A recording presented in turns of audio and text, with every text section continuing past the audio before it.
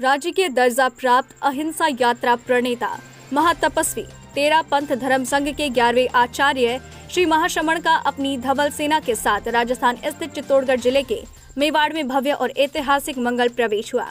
Madhya Pradesh Rajasthan border स्थित जलिया check post पर आचार्य श्री के स्वागत अभिनंदन में प्रशासन नगर पालिका तेरा पंथ संघ के अनुयायियों सहित संपूर्ण जैन समाज और नगर वासियों ने पलक पावड़े बिछाए। आचार्य श्री का स्वागत। सहकारिता मंत्री उदयलाल आंजना, सांसद चंद्र प्रकाश जोशी, पूर्व यूडीएच मंत्री श्रीचंद कृपलानी, पूर्व विधायक अशोक नवलखा सहित नगर के अन्य सभी जनप्रतिनिधियों ने आचार्य श्री का स्वागत कर उनसे आशीर्वाद प्राप्त किया। शक्ति और भक्ति की कल्याण नगरी निम्बाहेड़ा में उक्त प्रवेश भव्य होकर नगर वासियों के लिए धर्म लाभ के साथ यादगार बन गया। आचार्य श्री महाश्रमण इक्यावन हज़ार किलोमीटर की अहिंसा पद यात्रा, पूर्वांचल और दक्षिणांचल की यात्रा करने वाले पहले आचार्य हैं।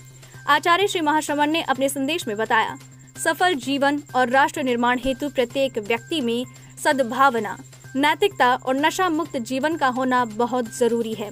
बताया कि आचार्य महाप्रज्ञ और आचार्य तुलसी का भाषा योगदान कभी भुलाया नहीं जा सकता। उनका राजस्थान की भाषा और साहित्य में महत्वपूर्ण योगदान रहा। उनका मेवाड़ की इस धरा पर कई सालों के बाद आना हुआ है। उल्लेखनीय है कि आचार्य महाश्रवण का आज से 10 साल पहले राजसमंद ज़िले में चातुर्मास हुआ था। इसके बाद वो पुनः मेवाड़ क्षेत्र में उनका फिर से आना हुआ है। नवभारत समाचार चित्तौड़गढ़ राजस्थान से दुर्गेश कुमार लक्षकार की रिपोर्ट। पधारा शासन राज्य पर पधारा देखो देखो देश बबलू जी थोड़ा ऐसा ऐसा थोड़ा सा कैमरा पार्टी कर हाँ।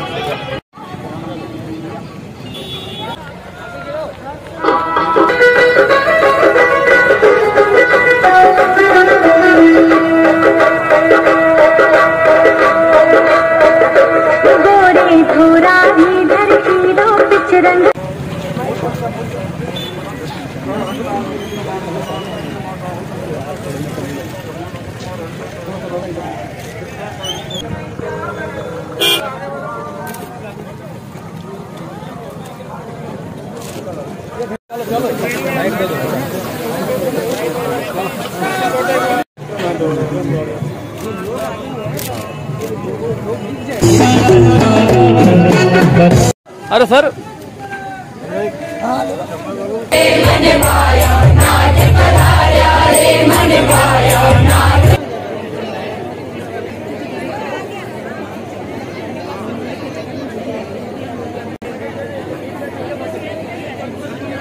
तो मुख्यतया राजस्थानी भाषा के आचार्य भिक्षु का कितना साहित्य प्रज्ञात्मक साहित्य, दयाचार्य का तो और भी ज़्यादा कितना साहित्य।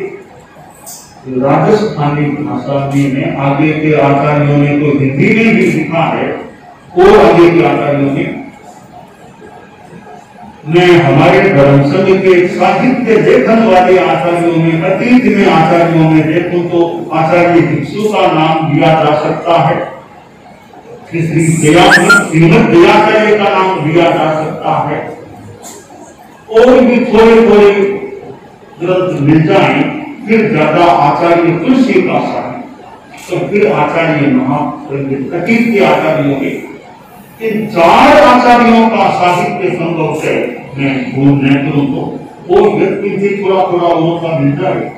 ज़्यादा साहित्य इन चार आचार्यों का मिलता है। इन चार आचार्यों में गुरुदेव तुलसी का तो हिंदी में भी मिलता है। आचार्य श्री महाप्रिय जी का कितना हिंदी में मिलता है, और भी भाषाओं में मिलता है।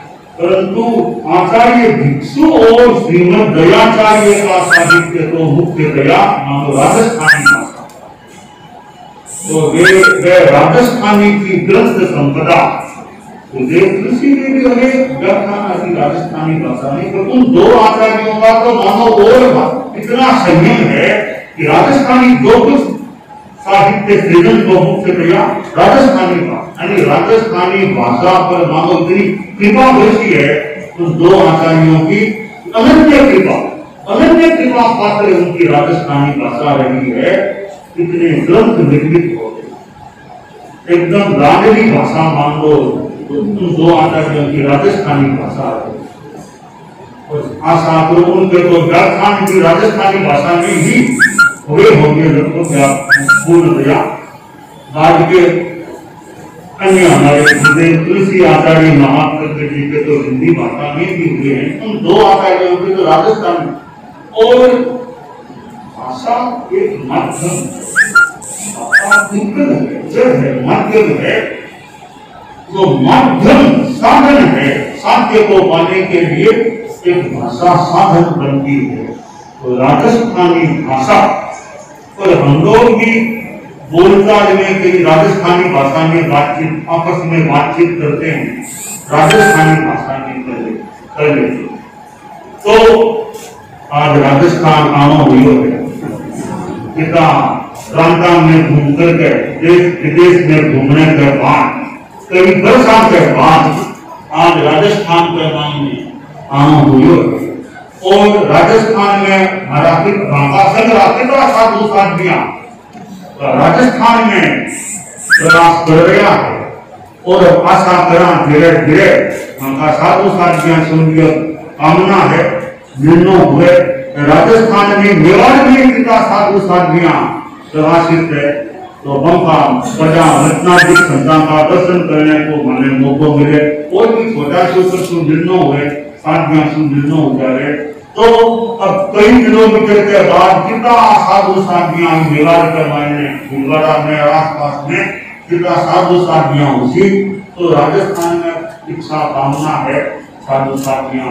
वर्षा से निर्णय बनी हुई दूर गया हाँ वर्ष हो गया निर्णय हो जाए और भीलवाड़ा धीरे धीरे निकट दूरी है दीवार में भीलवाड़ा निकट तो भीलवाड़ा यूँ कैसी चीज़ करके ये मौको उसके आस पास की स्थितियाँ और भीलवाड़ा के बाद भी राजस्थान में आशा करा और किरण सेवा केंद्र आदि आदि में निर्णय हुए तो तो राजस्थान जैसे सुनकिता जैसे पिता साधु साधियाँ आज भी हमारे अपने धर्म संग्रह विराजमान है।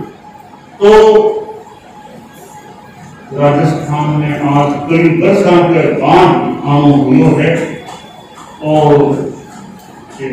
यात्रा को क्रम उनकी यात्रा वो राजस्थान के महीने प्रवेश हुआ और राजस्थान में दो चतुर्मास की निर्मित क्रीड़ा सन दो हज़ार इक्कीस को भीलवाड़ा बाईस को सागर में और महोत्सव की दो हज़ार बाईस को और दो हज़ार तेईस को भी राजस्थान के मायने होना विकास बाईस घोषित है।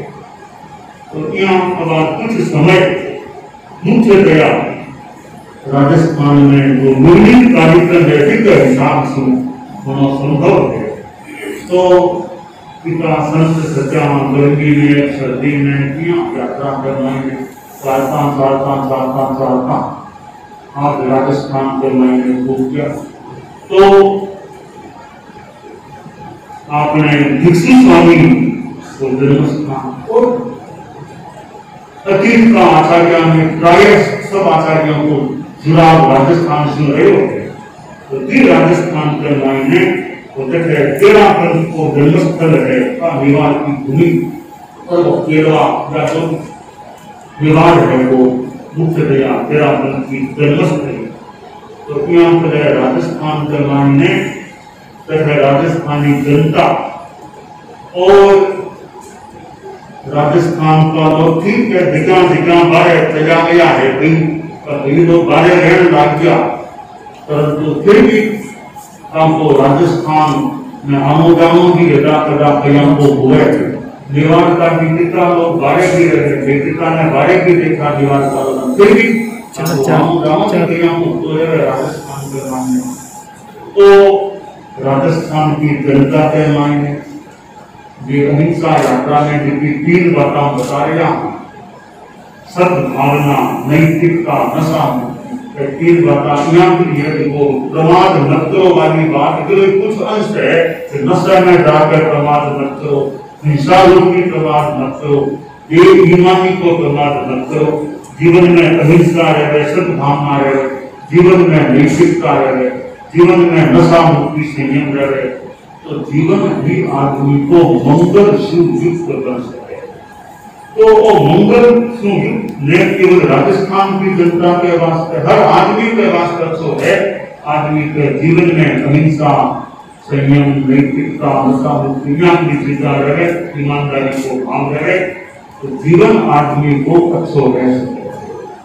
तो जीवन अनित्य है, और एक मानो जागरूकता को आधार स्थल बने है कि जीवन अनित्य है, और आत्मा स्थायी, आत्मा आगे रहने वाली है, ये वास्ते जागरूक तो समयम गोयम मा प्रमाणे समयम गोयम मा प्रमाणे बोलने क्यों परम पूज्य गुरुदेव जी से तो कई बार खया खया तो दसवां अध्याय को मन को याद आ रही है रात में गिने गिरा था तो गुरुदेव उस रात्रि में खया खया बुद्धि बृहस्पति में तो दसवें अध्याय को स्वाध्याय किया वो दसवां अध्याय है जिसमें प्रमाद नहीं करने को संदेश दियो गयो है समयम गोयम समय मात्र की प्रमाण परम पूज्य आचार्य महाप्रकृति जी आगम संपादन करवाने इसमें बहुत गहरा इसमें जुड़ेगा तो आगमन का अर्थ है आदमी का स्वाध्याय करता करता स्वाध्याय में मन रहता है आपका आगम ज्ञान का ग्रंथ है तो आपको स्वाध्याय व्यर्थ अगर कोई अनुप्रेक्षा आपकी को जितनी हुए अनुप्रेक्षा को भाव हुए तो को विधि थोड़ी प्रज्ञा की स्फुरना हुए स्वाध्याय करता करता बहुत अच्छी तन्मयता भी आ सके है और आपकी श्लोका की, या सूत्रा की गहराई में भी बैठने को मौको मिल सके। कई बार स्वाध्याय करता करता ईसा तत्व नज़र ध्यान में आ जाए तो नयो नयो ज्ञान मिलो, नयो ज्ञान मिलो। तो आगम तो एक प्रकार से समुद्र सागर समुद्र है डुबकी लगाई जा सके कितनो टाइम कटोरो जा सके यहाँ तो सबसे बहुत प्राप्त किया जाए तो राजस्थान में आज हम ये आज हमारा राजस्थान में प्रवेश हुआ है, आना हुआ है। तो हमारे साथ भी दुर्गा जी का भी करवाना भी हुआ ही था। साथ जी दुर्गा जी भी हमारे साथ साथ कहाँ कहाँ प्रचार करके यात्रा करके हमारे साथ ही राजस्थान में प्रभारी हैं। इतनी हमारी साथियाँ, हमारे मुख्य ही। आज हमारी इतने सारी साधु हैं। आज तो कन्या साथ हैं। है यात्रा भी उतनी नहीं कि कभी तो कन्या हैं। तो हम सभी खूब तो की धर्म की आराधना करते रहे। राजस्थान का ये